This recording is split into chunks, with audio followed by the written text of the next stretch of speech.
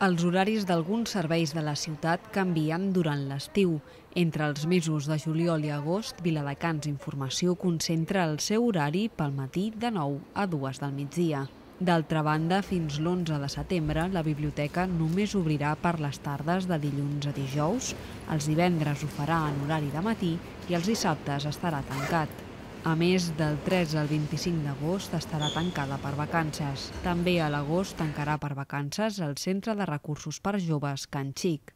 Per la seva part, Atrium Viladecans tancarà del 15 al 26 d'agost per manteniment, així com tots els diumenges del mateix mes. Pel que fa als centres de salut, durant el mes d'agost, el CAP Maria Bernades només funcionarà en horari de matí.